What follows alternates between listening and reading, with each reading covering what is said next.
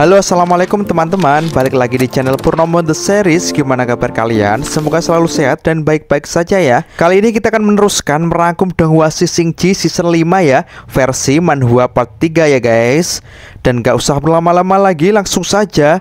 Gas cuy di episode sebelumnya diperlihatkan Raja Kebajikan mencoba mencari jalan tengah kepada dua dewa kuno yang saling berseteru. Akan tetapi ia malah membuat keputusan yang konyol Yaitu ingin agar Wukong dihukum mati akan tetapi untung saja sebagian besar dewa-dewa tidak setuju dan setelah itu Wukong tiba-tiba menghilang dari kekacauan di alam surga dan kedua kalinya diam-diam Wukong mengambil elixir milik Raja Kebajikan dan lari ke bumi. Sehingga hal itu membuat Raja Kebajikan gregetan sama Wukong guys. Saat sampai di bumi Wukong pun langsung membuka kotak elixir tersebut dan memang benar di dalamnya banyak sekali elixirnya guys. Seketika Wukong langsung teringat masa-masa indahnya dulu dengan Suyi dan itu membuat mata Wukong berkaca-kaca guys. Dan tiba-tiba terdengar suara dari belakang dan itu adalah Dewa Sasin yang lagi memergoki Wukong. Wukong pun kaget dan mengira kalau Sasin ke sini mau menangkapnya. Akan tetapi Dewa Sasin menjawab kalau ia tidak datang ke sini untuk menangkap Wukong. Ya setidaknya tidak untuk hari ini. Ia hanya ingin ngobrol dengan Wukong. Sasin mengatakan kalau pertarungan antara cahaya dan kegelapan masih belum berakhir. Dan saat ini para Dewa Kegelapan juga ingin merebut kitab suci. Dan saat ini kitab suci tersebut yang sekarang menjadi sosok Xiao Yu berada di jalur iblis. Terakhir anak buah Sasin melihatnya sudah sampai di kota kuno. Dan cobaan selanjutnya dari rombongan Biksu Tong yaitu jiwa-jiwa kegelapan maka dari itu bantuan Wukong saat ini sangat dibutuhkan. Wukong pun bertanya kepada Sasin kenapa ia tak membantunya. Akan tetapi Sasin menjawab kalau cara para dewa itu rumit dan susah dijelaskan. Sasin berharap kalau Wukong berhasil melakukannya dan Dewa Sasin pun pergi guys. Tiba-tiba Wukong pun merasakan ada sesuatu yang terseret ombak yang menyentuh kakinya dan setelah dilihat ternyata itu adalah mahkota emas miliknya ketika mencari kitab suci guys. Wukong kehilangannya saat dipenggal di istana surga. Wukong pun heran kenapa mahkota ini muncul tepat di hadapannya. Ya kalau menurut Mimin sih mungkin Dewa Sasin yang tadi diam-diam menaruh mahkota tersebut. Wukong pun percaya kalau ini semua adalah takdir sehingga ia pun segera memakai mahkota tersebut di kepalanya dan berniat akan bertemu dengan gurunya. Dan benar saja setelah memakai mahkota tersebut, Wukong tiba-tiba merasakan keberadaan gurunya. Wukong merasakan kalau saat ini rombongan Biksu Tong cukup dekat dengan kota kuno. Ia pun segera membereskan eliksirnya dan ia pun tiba-tiba naik burung yang lagi terbang. Dan Wukong berkata kalau nanti ia akan memberi kejutan kepada guru dan adik-adiknya dengan wujud reinkarnasinya sekarang ini. Dan ia pun meluncur dengan cepat dengan burung yang ditungganginya. Dijelaskan setelah rombongan Biksu Tong jatuh di jurang tak terbatas, singkat cerita mereka sudah lepas dari jeratan naga kuno. Akan tetapi Cupat Kai saat ini masih terpisah dan belum bergabung kembali ke dalam rombongan dan saat ini mereka masih berada di jalur iblis tepatnya di kota kuno. Sin beralih di istana surga kegelapan, tampak Sitian sedang melapor kepada Raja kuno bahwa ia sudah mengatur sebagian besar posisi baru untuk istana surga. Semua jabatan-jabatan sudah ditempatkan sebagaimana mestinya. Raja kuno menjawab kalau mereka harus menghindari konflik dengan para dewa cahaya dan semua operasi harus dilakukan dengan halus. Sitian pun masih khawatir dengan Raja Kebajikan yang kadang muncul di sekitar sini, akan tetapi Raja kuno menjawab bahwa itu tidak masalah. Raja Kebajikan selalu bersikap netral selama mereka tidak memancing dewa cahaya, maka raja ke maka raja kebajikan tak akan ikut campur. Raja kuno tiba-tiba membenarkan apa yang telah dikatakan oleh Raja Harta. Kalau mereka para tiga Raja Agung sudah terlalu tua Sehingga pemikiran dan tindakan mereka terlalu berbeda dengan dewa-dewa zaman sekarang. Sehingga Raja kuno sadar harusnya tiga Raja Agung tak ikut campur dengan urusan dewa-dewa sekarang. Lalu ia pun menyerahkan semuanya di bawah pimpinan Sitian dan Raja Kuno akan butuh waktu sendirian di Menara Sutra Kuno. Sitian pun dengan senang hati siap mengemban tugas tersebut. Raja Kuno pun menanyakan di mana keberadaan kitab suci sekarang ini. Sitian pun menjawab kalau sekarang ini kitab suci berada di jalur iblis para dewa cahaya yang mempunyai banyak pantangan akan jalur iblis, maka tidak ada dewa mana pun yang mau mendatangi tempat kotor tersebut. Selama pasukan kegelapan berani menyerang, maka kitab suci kemungkinan besar akan bisa direbut. Raja kuno mengatakan kalau dengan kitab suci tersebut, maka tak ada lagi yang perlu dikhawatirkan. Sitian pun mengatakan kalau ia sudah mengirim beberapa utusan yang sekarang dalam perjalanan menuju jalur iblis. Mereka adalah dewa kegelapan yang tak pernah gagal.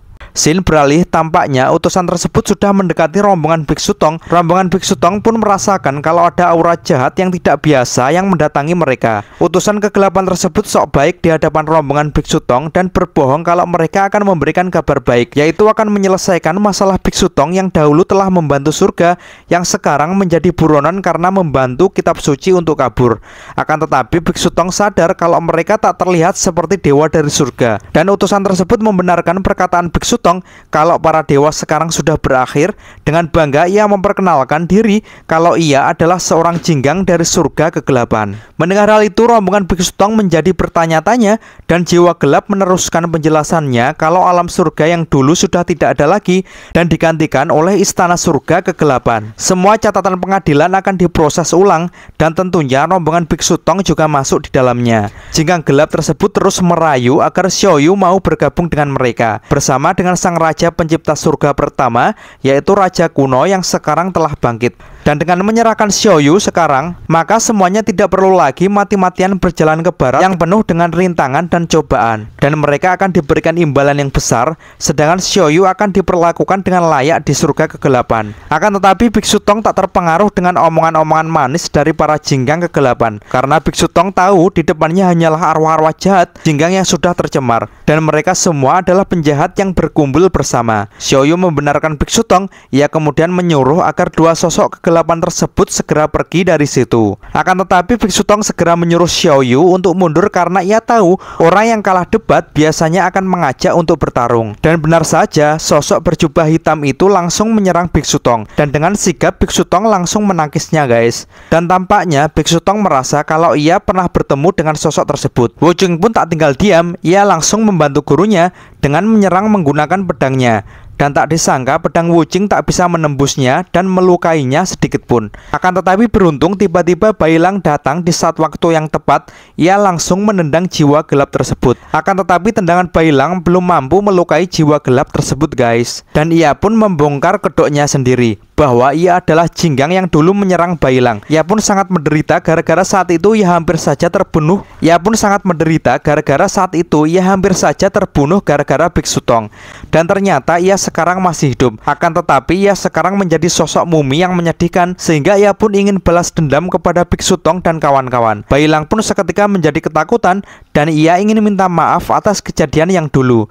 Tetapi percuma, mumi tersebut keburu menampar Bailang dengan keras. Biksu Tong merasa merasa kalau jinggang tersebut saat ini menjadi lebih kuat dari yang dulu Mungkin karena ia terjatuh ke dalam jiwa kegelapan sehingga kekuatan aslinya keluar Dan tiba-tiba terlihat mantra-mantra rapalan di belakang Biksu Tong Tampak jiwa gelap yang satunya berkomat kamit seperti Mbah Dukun merapalkan sesuatu. Seketika muncullah sosok pasukan tengkorak yang berwarna perak yang tampaknya semuanya akan menyerang rombongan Biksu Tong guys. Dan mereka adalah para arwah kematian. Bapak Gundul tersebut langsung menyuruh mereka untuk membunuh Biksu Tong. Dan dengan susah payah Biksu Tong berusaha untuk menghindarinya karena memang gerakan manusia tengkorak tersebut sangat cepat. Wuching pun segera membantu gurunya dan menangkis semua serangan pedang dari pasukan tengkorak. Wuching merasa kalau manusia manusia manusia tengkorak ini adalah arwah dari satria-satria yang terlatih Sehingga Pak Gundul tadi memang benar-benar seorang dewa Di sisi lain Ausue pun juga diserang Dan dengan susah payah ia mencoba untuk menghindarinya guys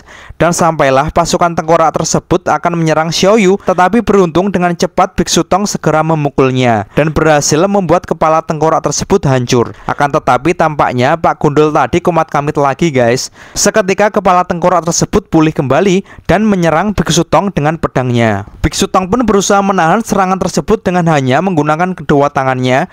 Dalam hatinya Biksu Tong berkata kalau pasukan satria ini tak bisa dikalahkan, satu-satunya cara yaitu dengan mengalahkan Pak Dukun Gundul yang sesat tadi. Di sisi lain, Jinggang Mumi tampaknya sangat bernafsu untuk menyerang habis-habisan kepada Bailang. Bailang pun kewalahan, ia pun memaksakan diri untuk mengeluarkan jurus naga yang dipunyainya. Dan seketika keluarlah jiwa naga api yang menyerang Jinggang Mumi tersebut dan berusaha untuk membakar Jinggang Mumi tersebut. Akan tetapi tak disangka, Jinggang Mumi tersebut sekarang sudah kebal dengan api karena ilmu hitamnya. Sehingga hal itu membuat Bailang kaget dan ia pun langsung memegang kepala Bailang dan menjatuhkannya ke tanah. Melihat ada kesempatan kesempatan jinggang mumi tersebut akan meneruskan dengan serangan terakhirnya yang akan membunuh Bailang. Akan tetapi tiba-tiba celang tampak tangan mumi tersebut ditahan oleh sesuatu yaitu seperti senjata garpu dari besi. Semuanya tahu kan senjata siapa itu dan cerita pun bersambung. Oke teman-teman, terima kasih sudah nyimak alur cerita kali ini sampai habis. Semoga teman-teman terhibur. Jangan lupa terus dukung channel ini agar terus berkembang dan sampai jumpa di episode selanjutnya.